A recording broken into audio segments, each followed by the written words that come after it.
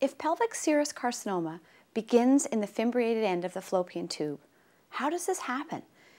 In other words, what causes cancer in the fallopian tube?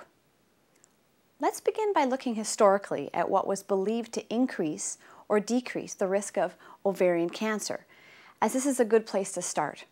Our textbooks and traditional training tells us that having used the oral contraceptive pill decreases a woman's risk of ovarian cancer having been pregnant also decreases her risk. These risks were linked to the concept of incessant ovulation. The theory being that the more times a woman ovulated in her lifetime resulted in more times the ovarian epithelium had to repair itself. We speculated that this incessant repair process made the ovarian epithelium susceptible to cancer. We now believe that the use of the oral contraceptive pill and a history of pregnancy decreases the risk of ovarian cancer via an altogether different mechanism. Knowing that the majority of pelvic serous carcinomas arise in the fimbriated end of the fallopian tube and not the ovarian epithelium was the first step in beginning to look for a causative factor. We believe that pelvic serous carcinomas arise from the fimbriated end of the fallopian tube as a result of exposure to inflammatory agents carried through the tube during retrograde menstruation. Inflammatory or infectious agents are carried from the vagina, through the cervix and uterus, and out the fimbriated end of the fallopian tube.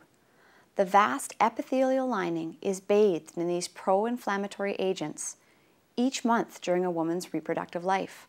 The epithelial lining is subjected to serial episodes of inflammation and repair, and this is the more plausible explanation for the development of tubal intraepithelial changes. Now it makes sense why the oral contraceptive pill and pregnancy would lower the risk of ovarian cancer. The oral contraceptive pill causes thickening of the cervical mucus, which blocks ascending inflammation. It also decreases the duration and heaviness of each monthly cycle and decreases the motility of tubal cilia. Similarly, during pregnancy, the cervical mucus plug and developing pregnancy itself block ascending inflammation. Lactational amenorrhea following pregnancy also increases the number of menstrual free months in a woman's lifetime.